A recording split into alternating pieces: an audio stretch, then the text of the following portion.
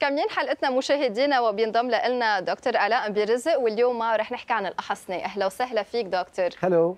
اليوم قررنا نحكي عن الخيول أو الأحصنة لأنه في كثير مشاهدين بعتوا على ال social media أنه إمتى ما نحكي عن الأحصنة خاصة أنه هيدا الحيوان اللي هو آه، الرفيق الأقدم للبشر واللي بيساعده بالأعمال حتى كان يساعده بالحروب. يعني قلت نعطي عنه هيك لمحة حلوة صغيرة عن الأحصنة.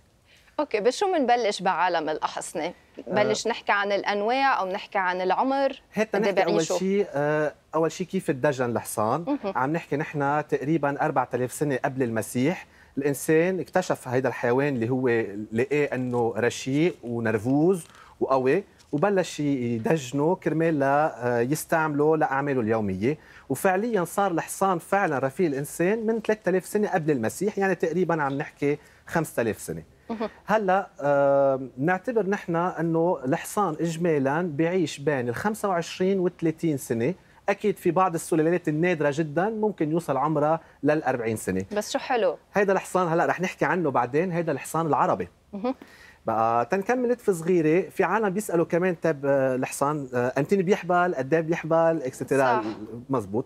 عم نحكي نحن فترة الحبل تقريبا بين 320 ل 370 نهار حسب السلالة. واجمالا الأحصنة طبيعيا بتحبل بفصل الربيع أو بفصل الخريف. بغير فصول آه، ما بتحبل. بنقدر تقريبا إنه عندنا بحدود 59 مليون حصان بالعالم. فوق 33% منهم أو فوق 33% منهم موجودين بآسيا.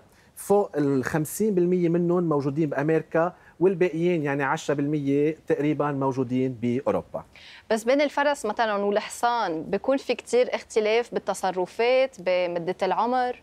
هلأ آه، بمدة العمر اجمالا لا بس بالتصرف أكيد بيبقى الفرس أو الذكر عفوا بيبقى طبعه آه، قوي. قوي وبيبقى نرفوز أكثر من الأنثى آه، واجمالا الأنثى بتبقى قوية أكثر هلا آه ع سيرة أطباع الأحصنة آه الأحصنة فينا نقسمهم لثلاث أطباع في منهم بنسميهم hot blood يعني دمهم حامي كثير في منهم بنسميهم cold blood يعني دمهم بارد وفي warm blood اللي هو السلالات المتزاوجة بين ال hot وال cold okay. يعني آه بس نقول حصان عربي هذا يعتبر حصان hot blood لأنه معروف شايف بحاله بيدخل بالسبق رشيق نشيط.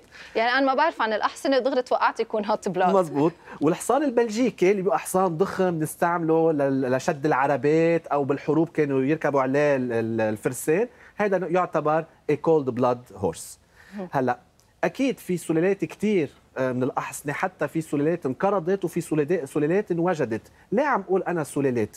لأنه الأحصنة طبيعيا كانوا موجودين بكذا منطقة. وأكيد التدخل البشري صار يخلي الأصناف تتجاوز بين بعضها. مشان هيك مثلا ممكن نشوف نحن أنجلو أراب يعني يكون حصان إنجليزي ومجوز عربي أو أنجلو ألمان أو عربو فرنسي هودي أحصنة متجاوزة بقلب بعضها. بس اليوم حابب خصص نتفه صغيرة حديث عن أشهر أحصنة بالعالم اللي هي الأحصنة العربية. بس قبل ما ننتقل عليهم فينا نفسر للمشاهدين أكثر شو الفرق بين الحصان وبين ال pony؟ آه إيه. هلأ آه ال pony يعتبر من أصناف الأحصنة إذا عم نحكي نحن علميا. okay. بس آه أكيد بنعرف إنه ال pony هو حيوان صغير حيوان آه يستعمل بالمزارع لينقلوا قصص خفيفة للأولاد. والأحصنة هي الحيوان اللي هو أكبر واللي هو بيبقى آه، نشط أكثر بنستعمله للسباقات. ونستعمله للأعمال. بس هن يعتبروا احصنه بس حجمها بضل نوعا ما آه، صغير. نوعا ما صغير. بقى الاحصنه العربية. الاحصنه العربية آه، تتقسم لثلاث أصناف. okay؟ أول أص... أول صنف بنسميه السكلاوي. السكلاوي لأنه جسمه مصقول أه. هيدا الحصان هيدا هو يعني؟ آه إيه هيدا سكلاوي. آه الحصان بيبقى رفيع بيتميز بالطابع الأنثوي للذكر والانتايه يعني اثنين شكلهم كثير ناعم. نستعمله اجمالا بالمهرجانات نستعمله بالإستعراض يعني بس نشوف بيكونوا عم يعملوا مهرجانات بالبلدان العربية خاصة بالمملكة العربية السعودية أو حتى بلبنان بعنجر وبعلبك بس يكونوا عم يستعملوا بيكون الحصان الصقلاوي. هلأ في عندنا الحصان الثاني اللي بنسميه نحن آه، الكحلاوي أو اللي بنسميه نحن المكحل. هذا الحصان وجهه مكحل عيونه مكحلين. وجهه حلو يعني. وجهه كثير حلو. بيطغي عليه الطابع الذكوري. وهيدا كثير بيستعملوه للي بيحبوا ركوب الخيل خاصة بس تشوفهم عم يعملوا آه، ركوب الخيل وبيفزوا بال على الخيل. هيدا طبعه شوي معضل أكثر شرس أكثر نرفوز أكثر منه شرس بقدر ما هو نرفوز أكثر بحبوا يستعملوه بالأعمال الرياضية. وفي عنا المعنكي هيدا الحصان بيستعملوه أكثر شيء بسباقات الخيل. وأكيد في كثير سلالات منه هذا الحصان كمان آه، بيتميز بأنه هو حصان نسبيا ضخم. هيدا مش معنكي هيدا بلجيكي بس تنقول المعنكي هو حصان آه، آه، بس شكله قريب عليه أو لا لا, لا؟ ابدا. هيدا كان حصان بلجيكي. المعنكي هو حصان ضخم نسبيا عيونه صغار تفاصيل وجهه بتبقى أكثر باينة خاصة مناخيره وشكله. هلأ آه نحن بنقول حصان عربي بس كمان اللي بيفهموا بالأحصنة ما بيأصلوا حيلا حصان عربي ما بيجوزوا حيلا حصان عربي مع حصان ثاني يعني إذا بدهم يجوزوا بضلوا محافظين على النوع بيحافظوا على السلالة. وفي كثير آه مؤسسات وفي كثير جمعيات بتهتم إنه ما ننزع السلالات لإنه كل سلالة لها ميزتها الخاصة. حلو كثير نحن رح نعرض بعض الصور وهيك إذا فيك دكتور إيه أنت تصير إنك كل واحد مثلا شو نوعه؟ مزبوط. آه، أول صورة كنا عم نشوفها هيدي الصورة هيدا حصان بلجيكي.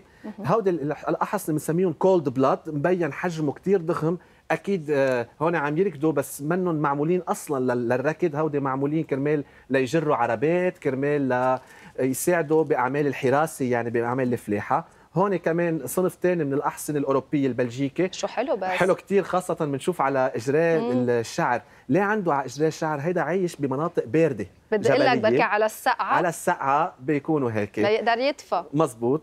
آه كمان هون عم نحكي كمان عن حصان أكيد مبندق بين آه عربي وشيء أوروبي. بنلاحظ إنه صار شكله شوي أنعم بس بعده يعني هيدا بنسميه وورم بلاد منه كولد ولا هات ما بين بين.